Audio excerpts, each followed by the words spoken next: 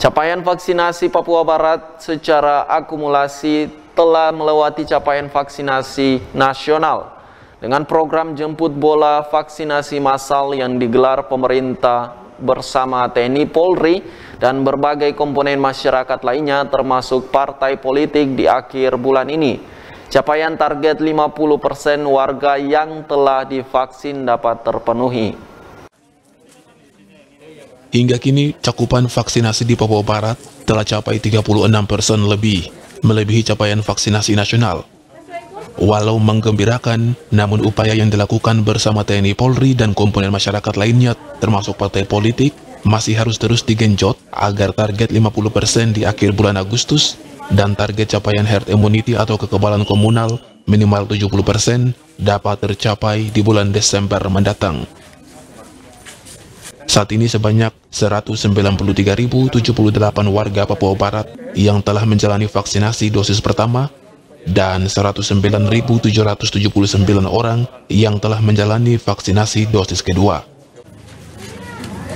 Derek Ampnir selaku Ketua Harian Gugus Tugas Penanganan COVID-19 Papua Barat mengatakan walau tenaga kesehatan dan jumlah vaksin yang dimiliki Papua Barat terbilang mencukupi sehingga tidak ada kendala serius dalam pelaksanaan program vaksinasi namun beberapa hal yang masih perlu mendapat perhatian adalah sosialisasi dan edukasi yang masih perlu dilakukan dengan mengedepankan pemahaman akan manfaat mengikuti vaksinasi agar masyarakat lebih banyak dan lebih antusias dalam mengikuti program pemerintah ini.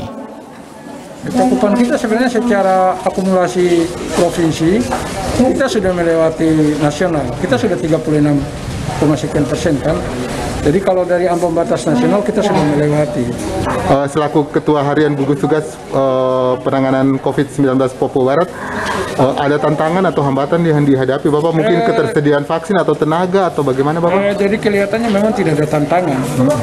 Sudah ada tantangan karena ini pelaksanaan program vaksinasi di Provinsi Papua Barat ini sudah direncanakan, sudah disiapkan, bahkan sumber dayanya sudah dilatih dan kebutuhan vaksin selalu diserahkan uh, diberikan oleh pemerintah kepada kita. Tidak ada tantangan. Tantangan kita hari ini adalah bagaimana membangun pemahaman, edukasi, sosialisasi dan ini kita terus lakukan supaya masyarakat bisa sadar dan memahami bahwa vaksin ini kebutuhan dia. Dan saya katakan bahwa ini vaksin bergembira. Vaksin bergembira karena ini kita ingin sehat. Ari Armstrong, Piro Manokwari, Jawa M Channel